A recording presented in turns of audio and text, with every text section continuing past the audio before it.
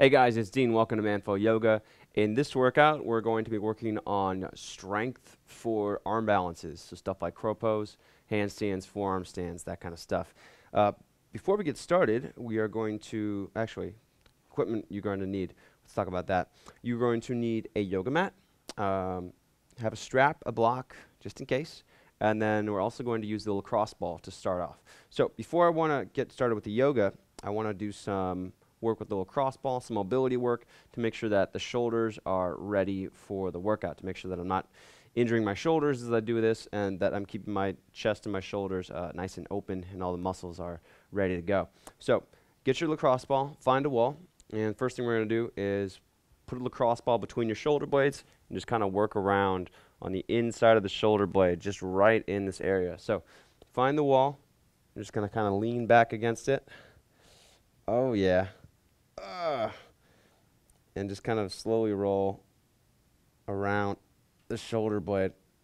I did some upper body stuff yesterday. I did some pulling exercises, and those muscles are angry. Woo! But this is going to help open them up and make sure that they are ready to use for the workout. You can also play around with moving your arms here. So if you bring your arm across your body like this, you're also going you're going to be able to work a little bit deeper into that area it's going to move the shoulder blade out of the way. It's going to make uh, the rhomboids and the traps, which are the muscles that you're getting now, it's going to make it a little easier to access those. Just kind of, again, working into that area.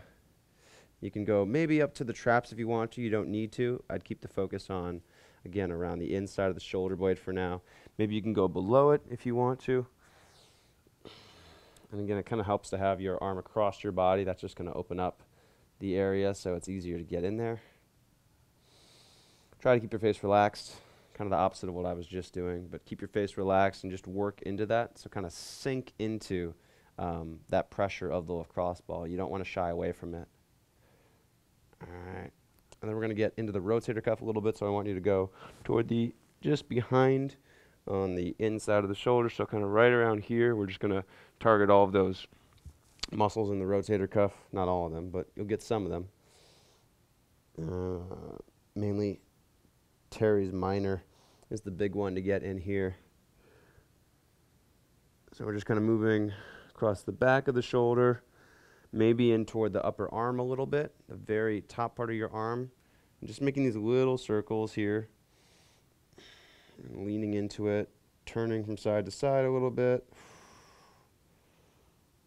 even working maybe down a little bit lower, kind of on the um, on your lat. Your latissimus dorsi. And then just kind of working into that area. All right, so we don't want to spend too much time there. Let's go ahead and switch sides. Do the same thing other side.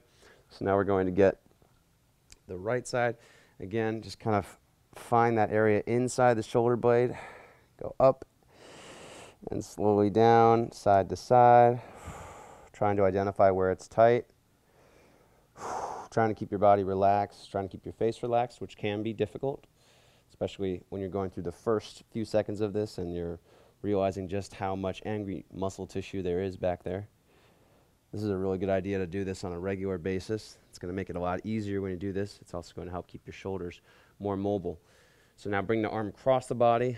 You're going to continue kind of rolling up and down, just nice and slow leaning as much weight as you can into the lacrosse ball. And again, right now we're focusing just around the shoulder blade, kind of on the inside and maybe below the shoulder blade. Lacrosse ball is nice because it's pretty mobile. Um, it'll move a lot more than, than a knot out. Uh, sometimes you'll want to use a knot out, especially if you're going between the shoulder blades um, and you're lying on your back because the lacrosse ball can roll over and kind of hit your spine, and that's never fun. But uh, once you develop the body awareness and kind of the skills to do this with the lacrosse ball, it, it gets it gets easier because you'll know what you need to do to make the ball stay in place.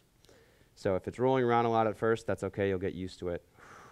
And if you find a part that seems to refer, if you find a, a particular area or muscle knot that seems to refer pain up to another part of the, the muscle, so it kind of maybe shoots up um, the entire shoulder toward the neck, that is that is a trigger point. That is a good place to work into because that's going to help you release the muscle. All right, so again, not spending too much time here. You can keep going, maybe spending two minutes total on this. And then let's get toward the rotator cuff as well. So I'm going to move toward the outside. I'm just going to kind of put that under my armpit back here and then roll in that area. You can also maybe hold on to your arm so you can totally relax the arm. So if you're holding your arm really intensely like this, you're not going to be able to get into the rotator cuff very well because those muscles are engaged. But if you can relax the arm, right, maybe even holding it like you just saw me do here, that'll make it a lot easier. So just kind of working into that, sp that space right behind the shoulder. Breathing deeply. Especially moving slowly over the areas that tend to be more tender, that are, that are more tender. So if you find that spot that's a little angry or maybe really angry, just stay at it. Be relentless. Be gentle. Don't push as hard as you possibly can into it, but ease into it, relax into it. And again, maybe spending a minute there as well. All right, feel free to press pause and do this for another minute. We're going to move on. We're going to do just one more. I want to do chest here. So we're going to work right on the upper pec. So right here, working into the pec minor area. So this right below the clavicle, right below your collarbone, toward the shoulder joint itself, and then kind of the upper corner of the pec. So we're going to find a wall again. You're just going to lean into it and just kind of move around like this. Just kind of working into that area. And kind of roll to the outside of the pec. So if you roll all the way across and kind of get to the outside of the pec, almost to the side of your body, that's a good spot to get. You can also do this if you don't have a wall. You can also do this on the ground. Uh, I would recommend using a block though. So you would put the lacrosse ball on top of the block and then kind of roll around on it. And then the benefit of using uh, the ground to do this is you can also start to move your arm a little bit more. So you can use the arm. You can find a spot on the chest and then use the arm to kind of work deeper into the area. So kind of moving the arm like you see me doing here. And again, we're not going to spend too much time here, and you probably won't get all of the knots in your chest out in just one minute. So your goal is just to get just to get a little bit different, just to get a little bit of a, a, a little bit of a release. You're not going to drastically alter the uh, soft tissue character of your chest in just one minute, but you can get a little bit of a release. And then let's go to the ground, and I'm going to show you how to do this on the block as well. So we're going to put the lacrosse ball on top of the block. You're going to put your chest, that same area, right on top of the lacrosse ball on the block. It might move around a little bit. And we're just going to move the arm like this. So going to make little circles with the arm, reaching up, reaching back, reaching straight out, making some circles like this, and kind of just releasing the chest onto the little cross ball. You can also try bringing your hand behind you like this, kind of bringing the hand, the top of the hand across the back, and then releasing into the releasing into the block or into the lacrosse ball. And there's a lot of real, there's a ton of different things you can do to make this work. So feel free to get creative. Your goal here is just to break up that muscle tissue in your chest. So if the wall works better for you, use the wall. If you're doing this and you find that on the ground works better for you, then do it on the ground. Again, maybe spending a minute here I'm even going to try turning this up a little bit higher and seeing if that helps. So again, experiment. Try lots of different things. You'll find one that works really well for you. We all have different bodies, different levels of mobility, different areas of the body that are tight, different even sections of or different areas of within the muscle, the same muscle that are tighter. So it's up to you to figure out which is most effective for you. All right. That should be good. All right, shoulders are warm. Let's start the workout. So put that aside. Put the block aside, put the lacrosse ball aside. You won't need the lacrosse ball again. We'll probably use that block later. First thing, let's get the wrist ready. So I want you to turn your wrist around so your fingers are facing you. Spread your hands as wide as you can, fingers as wide as you can, and then lean back.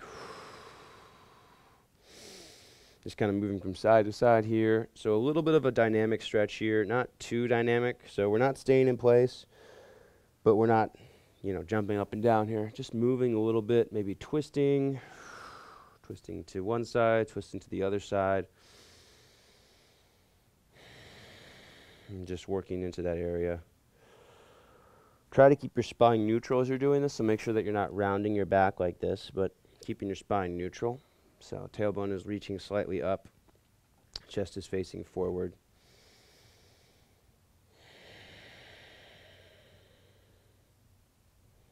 So we can spend about a minute here just working into your wrists, making sure that your wrists are ready for the, uh, the upper body work that we're going to do today.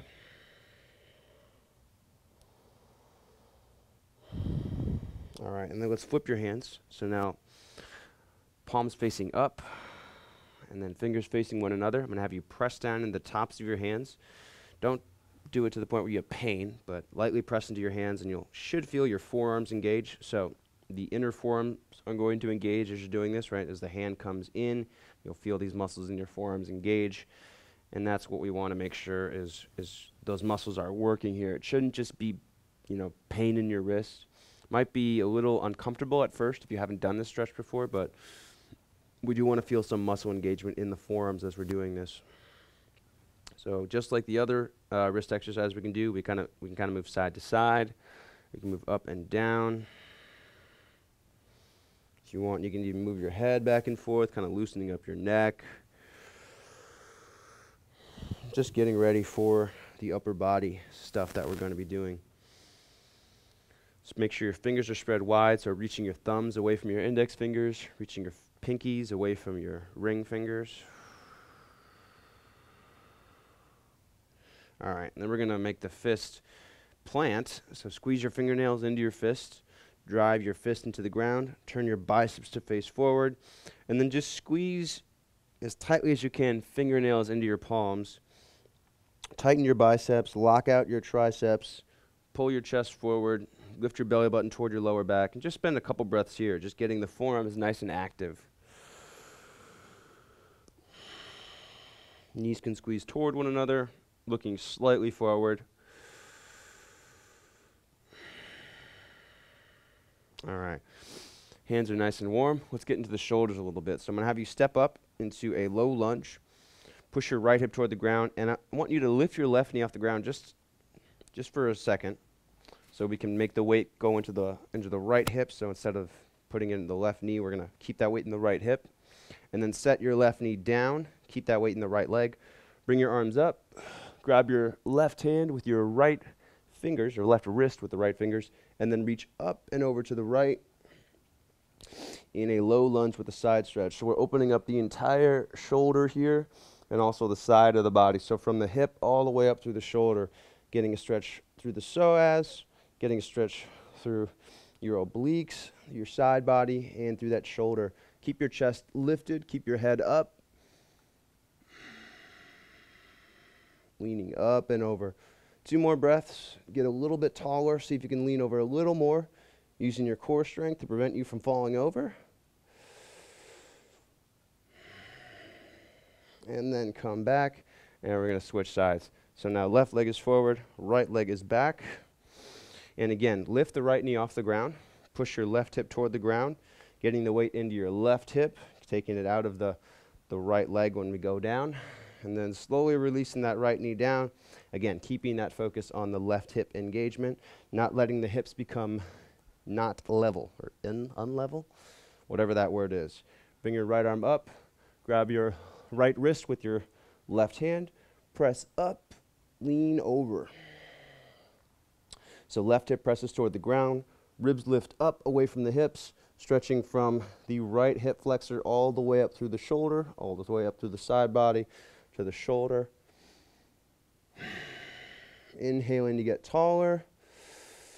Exhaling to go a little deeper. Three more breaths here, so really getting the shoulders ready for today's workout. You want to feel opening up through the ribs. At the same time, you're keeping your obliques tight, so not letting your body poke out to the side too much, but using your core strength to draw it in, and that's going to help you get a better stretch and better core engagement as well. One more deep breath.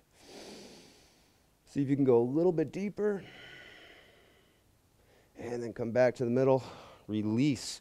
Go ahead and stand up. Thanks for joining me for this workout today. Make sure you subscribe. We put out lots of videos like this on a very regular basis. And to get full access to all of my workouts, my programs, tutorials, and more, head to manflowyoga.com, sign up for a seven day trial. It's just $1. Thanks again for joining me, and I'll see you on the next video.